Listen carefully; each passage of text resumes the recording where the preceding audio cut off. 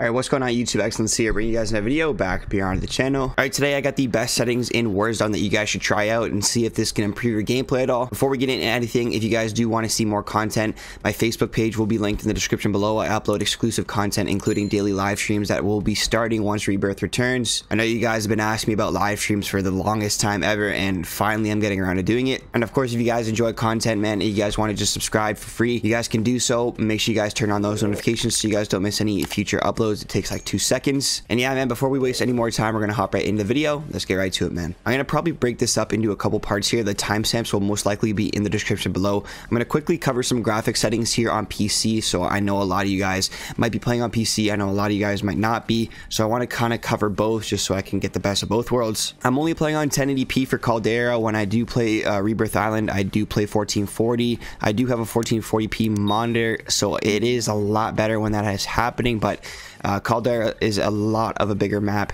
and I want to get the most frames as I possibly can. You guys can just pause the screen. The only thing I would really recommend you guys do is just turn on your NVIDIA Reflex low latency to I do the enable plus boost to kind of just kill all latency altogether.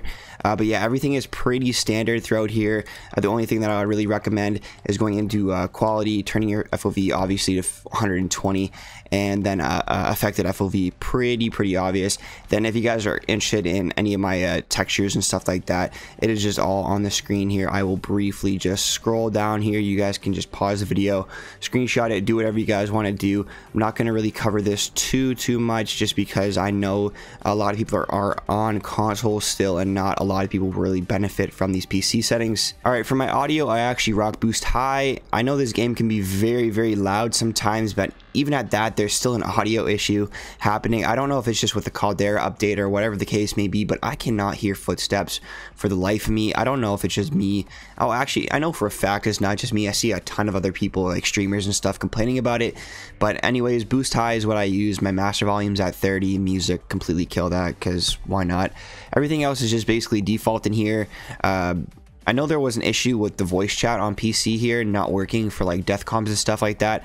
I managed to get it fixed. Just check your sound settings and make sure everything is uh, proper in there. I know it is a little messed up after the update. All right, and finally, this is what you guys probably clicked on the video for is the controller settings. For my button layout, I just do tactical. Uh, I don't play tactical flipped. Now, I used to play tactical flipped, but I've kind of switched up. I kind of play pretty unorthodox. I actually use DS4 Windows to kind of remap my buttons, and I'll, I'll briefly show you guys how I hold my controller just by picking up one of my other SCUF controllers or my Battle Beaver here. So I would aim, I aim in with L1 here, and then I actually shoot with R2. I know that's pretty weird because I hold my controller like this. It's not claw, it's like half claw since I do have like the buttons on the back. So I aim in like this and then I just hold my controller like this so I can have my, my thumb over my triangle button to swap weapons to reload and all that and then I still jump and knife with my uh, my back buttons or my paddles on my SCUF. I just have it plugged in and I can't show you but the Battle Beaver is very similar to that but yeah I literally just hold my controller like this and I'm able to like touch my d-pad reload all that stuff and then yeah still jump and uh, knife with the buttons on the back. Just what I'm used to you guys might not have the same luxuries that I do but that's just what I'm used to like I just said. But I do recommend you guys play on tactical regardless. Default is kind of just like not good anymore. Like it hasn't been good for years now and once you get used to tactical I promise you'll become a better player Alright, my horizontal and vertical stick sensitivities are both at 18, and then I'd turn my ADS sensitivity multiplier down to a 0.5. Now this allows me to like look around and move around very fast, and then when I am aiming down sights, it is nice controlled.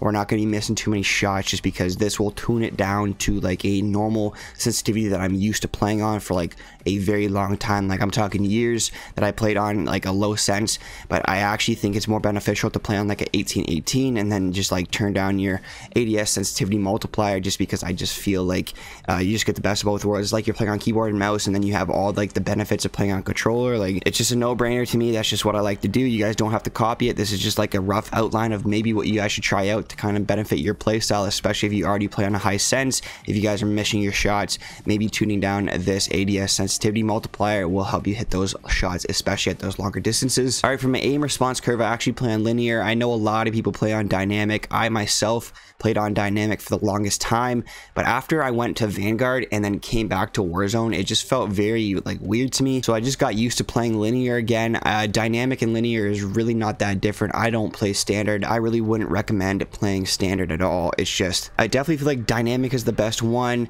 uh, but I like I said I'm used to linear. So if you guys play on linear, copy these stats or these settings, I should say, and uh, yeah, you might be able to do pretty well. Aim assist on, it's just standard. Now, I've seen a lot of people say to turn this off. When I turned this off, I felt like I was just missing a lot of shots, so I just left it on. I don't really fully understand what it does. It just scales the aim assist to the FOV that you're playing on, and if you have this disabled, if you're playing at 120 FOV, you're going to get like 80 FOV aim sensitivity or, or aim, aim assist or whatever that whatever the case may be i really don't fully understand it. I just leave it on because when i have it off like i just said it feels like i'm missing a crazy amount of shots and i end up dying too much to it. So that's why i leave it i leave it on. It's not a big deal. Do whatever you got to do. I don't even know if this is a console thing. I think this is just a um, a PC thing. So if you guys are on console, just completely ignore that. But yeah, everything else in here is pretty standard. Uh, contextual tab, make sure you throw that on, especially for Warzone. Armor plate behavior, apply all, definitely throw that on. The movement here is definitely what you really want to focus in on. Make sure you guys have tap to slide, and then also make sure that you have automatic tac sprint on. Your movement will just be so crazy like this. Also, make sure you turn off parachute auto deploy. It'll allow you just to manually pull your parachute and get to the ground a lot faster faster. Other than that, there's really not too many things in here that I switch up from a, like a normal kind of uh, default in here. Uh, there's a few things like this one and the auto tac sprint. definitely the two biggest things that you want to take from this video. But yeah, all right, man, that is going to be the video. I hope you guys enjoyed it, man. Thank you guys all for the support on the channel. Like I said, daily live streams and exclusive content on my Facebook page. Go check that out, man. It's been excellent. I'll catch you guys in the next one. Peace out, man.